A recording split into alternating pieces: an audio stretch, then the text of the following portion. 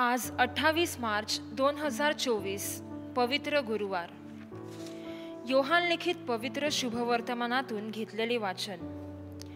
वल्हांडन सणापूर्वी असे झाले की येशूने आता ह्या जगातून पित्याकडे जाण्याची आपली वेळ आली आहे. हे जाणून ह्या जगातील स्वकीयांवर त्याचे जे प्रेम होते ते त्याने शेवटपर्यंत केले.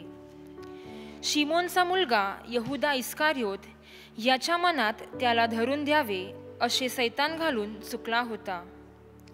तेव्हा आपल्या हाती पित्याने सर्व काही दिले आहे आणि आपण देवापासून आलो व देवाकडे जातो.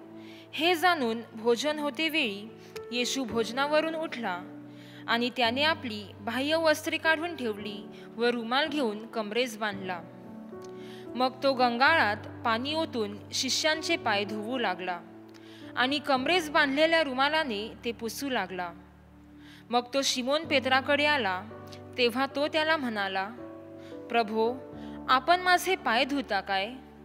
येशूने उत्तर दिले मी जे करतो ते तुला आता कळणार नाही ते तुला पुढे कळेल. पेत्र त्याला म्हणाला मी तुम्हाला माझे पाय कधीही धुवू देणार नाही. येशूने त्याला उत्तर दिले मी तुला धुतले नाही तर माझ्याबरोबर तुला वाटा नाही. शिमोन पेत्र त्याला म्हणाला प्रभो माझे केवळ पाय धुवू नका तर हात व डोकेही धुवा. येशूने त्याला म्हटले ज्याचे स्नान झाले आहे त्याला पायाखेरीज दुसरे काहीही धुण्याची गरज नाही कारण तो सर्वांगी शुद्ध आहे. आणि तुम्हीही शुद्ध आहात पण सगळेजण नाहीत. कारण आपणास धरून देणाराही सम त्याला ठाऊक होता. म्हणून तो म्हणाला तुम्ही सगळेजण शुद्ध नाही.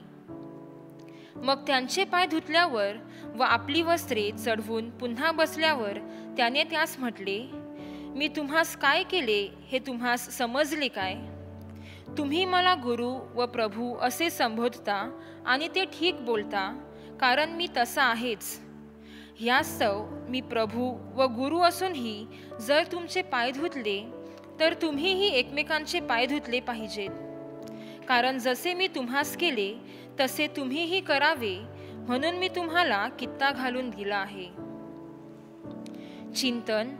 प्रभू येशूने आपल्या प्रेषितांचे पाय धुतल्यानंतर त्यांना सांगितले की मी तुम्हावर जसे प्रेम केले तसे तुम्हीही एकमेकांवर प्रेम करावे. पाय धुणे येशूच्या काळात गुलामाचे काम होते. लोक रस्त्याने प्रवास करीत असताना त्यावेळेला कच्चे रस्ते जे धुळीचे माखलेले होते त्यामुळे पायाला घाण लागत होती. अशा वेळेला घराच्या प्रवेशद्वाराजवळ पाय धुणारे गुलाम होते. पण ती एक सेवाही होती. आपण एकमेकांची कशी सेवा करावी याचे उदाहरण आपल्यासमोर ठेवण्यासाठी प्रभू येशू स्वतः दाससेवक झाला. प्रभू येशूने पोंती पिलातासारखे हात धुतले नाहीत कारण पोंती पिलात जोखीम पत्कारण्यास राजी झाला नाही. तो स्वतःची कातडी वाचविण्यासाठी हात धुवून मोकळा झाला. प्रभू येशूने तर कमरेतून वाकून हरवलेली मेंढरे उचलून स्वतःवर दुखणं घेतलं व धोका पत्करला कारण तो आपल्यावर खूप प्रेम करतो. त्यासाठी तो पास्कासनाचा खरा खोखरू बनून त्याच्या अनमोल शरीर व रक्ताचा वाटप नव्हे तर पुढे ते नेण्यासाठी याजकत्वाची स्थापना देखील करतो. त्यावेळी शिष्यांना हे पूर्णपणे समजले नाही परंतु त्यांना हे समजले की हे सर्व खरोखर देवाच्या योजनेचा भाग आहे. आजच्या उपासनेत ख्रिस्त शरीर साक्रामेंत याजकपदाची स्थापना व सेवा ही रहस्य केंद्रस्थानी आहेत.